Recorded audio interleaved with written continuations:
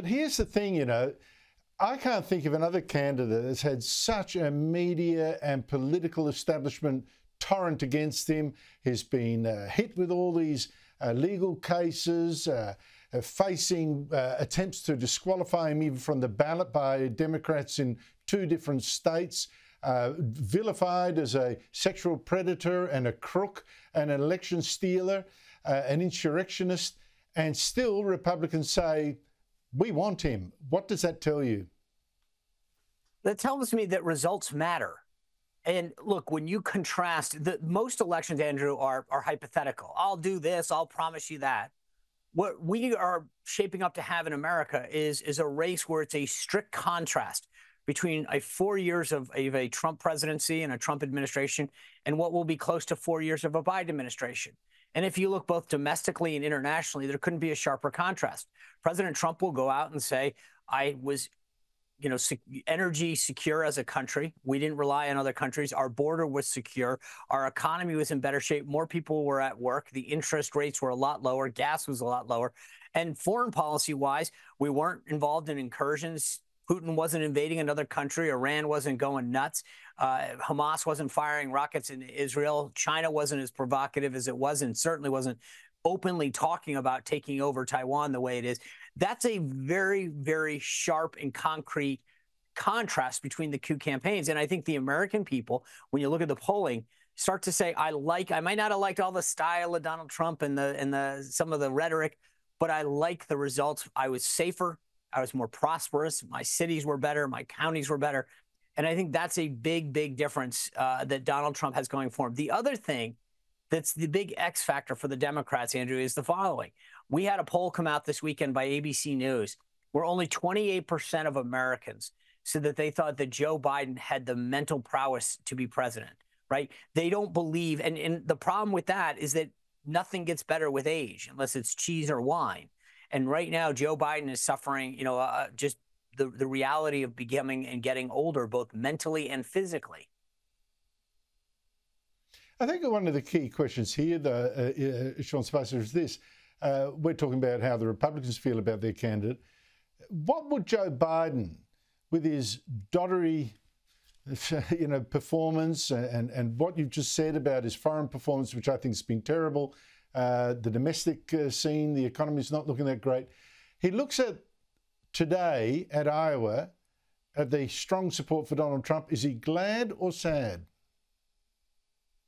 It's a that's a great question. Uh, look, I think that a lot of Democrats, including you know Joe Biden's campaign, want to run this race against Trump, but I think they're missing something. This is the same thing that Hillary Clinton missed, and so many folks in our in our media here miss, is that there's a lot that they might disdain about Trump and his style.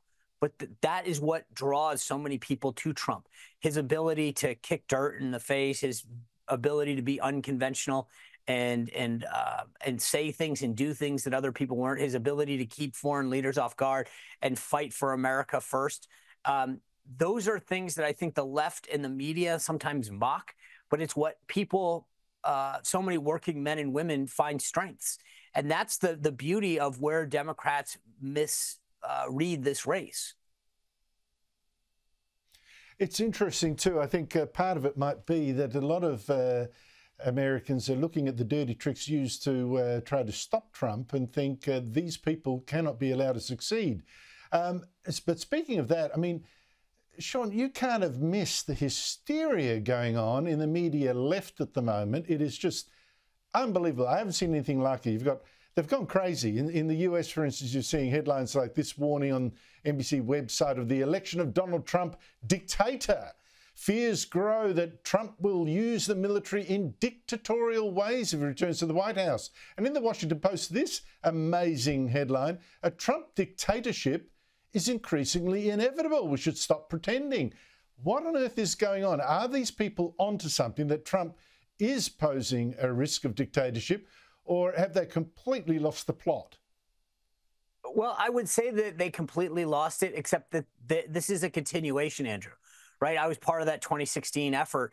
And there was this whole false narrative about coordinating with Russia. And as someone who was there, I kept, I always laughed at it at first because I thought to myself, the, the prevailing narrative at the time was that we couldn't coordinate with ourselves, Then it was that we coordinated with Russia. Then you look to 2020 and you think, there's this Hunter Biden laptop that has very damaging accusations against the president and his family and the business dealings that they're doing. And it gets completely suppressed by big government.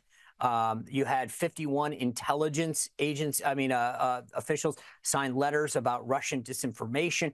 All of this stuff, they will go to no lengths to stop this president. And now we're seeing not just the headlines that you pointed out, but efforts to use the 14th Amendment of our Constitution to keep the president off the ballot, to not let democracy. And so, again, think about this for a second. One of the big narratives coming out of the Democrats is about how democracy is under attack. You see this now. It's it's manifesting himself into dictatorships. But the irony is, is that they're the ones canceling people's ability to vote. And it's not just Donald Trump. In Florida, they canceled the Democratic primary. They don't want Joe Biden to face any competition. And now they're using it to try to keep Donald Trump off the ballot, too.